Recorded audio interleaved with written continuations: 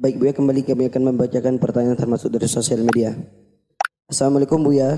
Assalamualaikum Maaf, saya hamba Allah dari Bali. Izin bertanya mengenai sholat. Kejadiannya, saya perjalanan di dalam mobil dan belum sholat asar. Lalu saya bertanya untuk sholat asar di mana. Salah satu orang di dalam mobil menjawab, jika sudah sampai tujuan, jika sudah sampai tujuan. Padahal jika dihitung nanti tidak akan kebagian waktu asar. Lalu, lalu saya bertanya kenapa tidak mampir ke salah satu masjid di jalan. Lalu dijawab lagi karena mengantisipasi penularan virus corona jika sholat di luar masjid.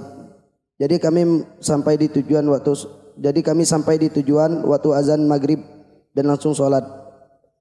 Asar dan maghrib itu bagaimana hukumnya Buya?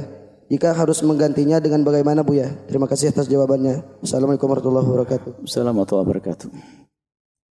Di atas kendaraan mau turun di atas kendaraan tidak mungkin. Karena apa? Maraknya virus corona ini. Ini sebabnya tidak harus virus corona. Jika memang tidak mungkin turun sholat di tempat yang normal, wajar.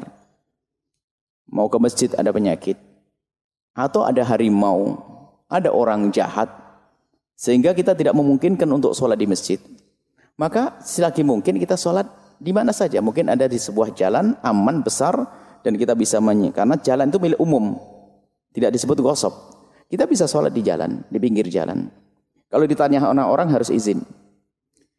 Kalau di, kalau di jalannya mungkin, sebab kita menemukan jalan seperti di jalan tol sekalipun ada tempat yang untuk istirahat.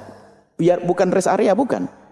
Kita sering melakukan semacam itu karena takut kehabisan sholat. Waktu sholat kita mampir berhenti. Wudhu dengan segelas air. Kita mampir sholat. Gak ada istilahnya menunda sholat tuh gak ada. Yang bisa dijamak hanya duhur dengan asar, maghrib dengan isya. Kalau asar dengan maghrib gak boleh dijamak. Nah, jadi anda harus sholat. Gak ada alasan tidak sholat. Kalau betul khawatir takut masuk masjid nanti ter tercemar karena mungkin di situ apalagi mungkin zona merah di, di kampung di masjid itu adalah masjid yang bahaya anda dengar anda tidak usah mampir. Cari tempat lain yang nggak ada masjid yang nggak ada keramaian orang. Jika itu pun ternyata susah, Anda sholat di atas kendaraan. Anda bisa kembali dalam buku kecil yang kami tulis adalah solusi sholat di saat jalan macet. Itu masuk pembahasan ini juga bisa. Anda turun nggak mungkin. nggak sama sekali nggak mungkin. Jalannya jalan tol atau jalan yang sholat pinggir jalan pun nggak mungkin.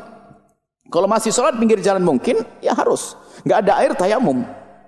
Nanti ngulang, yang penting nggak dosa dulu. Kalau tidak, maka Anda sholat di atas kendaraan. Arahnya nggak arah kiblat, nggak ada masalah. Karena memang kendaraan berjalan ke arah timur. Anda sholat nggak arah mengarah kiblat. Cuman catatannya, karena Anda sholatnya tidak mengarah ke kiblat, maka nanti harus Anda ulang. Jadi waktu Anda maghrib nanti Anda sholat lagi asar. Cuman sholat asar Anda melakukan di atas kendaraan, Anda cukup tidak dosa. Itu sudah luar biasa. Tidak dosa. Tapi kalau Anda biarkan tidak sholat sama sekali, Anda dosa. Maka tidak ada istilah meninggalkan sholat itu nggak ada. Jadi kalau tidak bisa turun, Anda sholat di atas kendaraan. Kalau turun betul-betul darurat, nggak mungkin turun, maka Anda sholat di atas kendaraan. Kalau bisa menghadap ke kiblat. Kalau menghadap ke kiblat, nggak perlu ngulang. Dengan wudhu, nggak ada wudhu tayamum.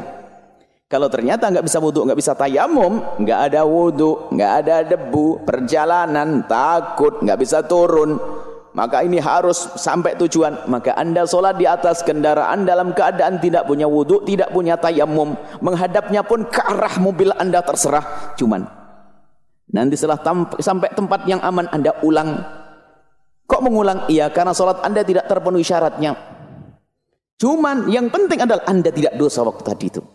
Ini yang ilmu ini yang sering dilupakan. Jadi orang begitu mudah meninggalkan sholat. Nah, sholat ini adalah saat-saat indah kita menghadap kepada Allah. Artinya biarpun kita dalam keadaan tidak punya wudhu, karena nggak ada air, nggak bisa, maka kita melakukan sholat. Sholat begini, ya Allah ini yang bisa aku lakukan, ya Allah. Begitu. Laporan kepada Allah. Ini munajat, ngadap kepada Allah seperti itu. Jadi jangan sampai ada yang meninggalkan sholat. Tidak ada alasan meninggalkan sholat. Selagi akal masih ada. Nggak bisa duduk baring, nggak bisa baring, nggak bisa berdiri duduk, nggak bisa duduk baring, nggak bisa baring terlentang, nggak bisa terletak suka-suka. Yang penting jangan Jangan sampai meninggalkan, sampai menggerakkan sholat dengan pelupuk. Dengan gerakan sholat, dengan pelupuk matanya, dengan isyarat, atau bahkan menjalankan sholat dengan hatinya. Seperti itu. Wallahu a'lam bishawab.